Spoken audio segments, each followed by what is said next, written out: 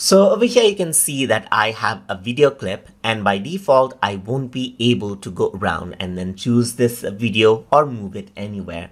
So to do that on the left hand side you can see that uh, the layer transform option is there and once you click on that the resizing option appears. So now what you can do is you can resize out the video as per how you like it just like this. You can resize it and click and drag it and place it wherever you want just like that as well. So you can go around over here onto the side and you even get the rotate tool which you can use to go around and rotate out the video left and right just like this as you can see and place it wherever you want. So this is how you can move and then resize out videos right here.